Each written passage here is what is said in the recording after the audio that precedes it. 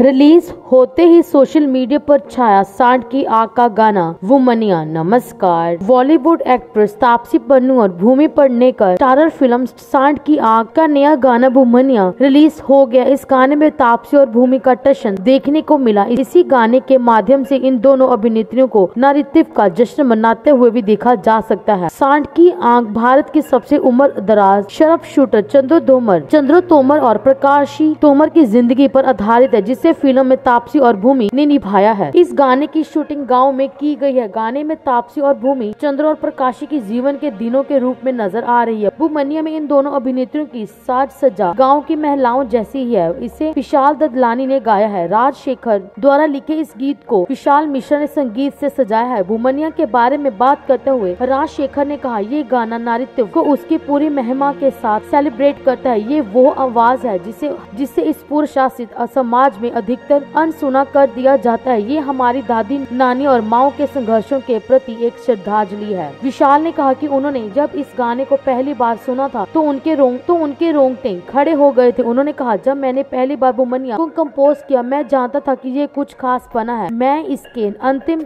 निष्कर्ष का दृश्य कान कर सकता था। अब जब अब जब मैंने रिकॉर्डेड गीत को सुना तो मेरे रोंगटे खड़े हो गए। विशाल ने आगे कहा, इस गान, इस गाने की एनर्जी उल्लास और परिवार और पावर को लोगों द्वारा महसूस किया जाने का मैं और इंतज़ार नहीं कर सकता। मैं बहुत खुश हूँ की विशाल ददलानी ने इसे बहुत ही बेहतरीन अंदाज में गाया है। ये प्रक्रिया बेहद ही खूबसूरत रही और जब ये श्रोताओं के प्ले लिस्ट में बजेगा तो उनकी प्रतिक्रिया को जानने के लिए मैं बहुत उत्सुक हूँ। साढ़ की आँख पच्चीस अक्टूबर को रिलीज़ होगी।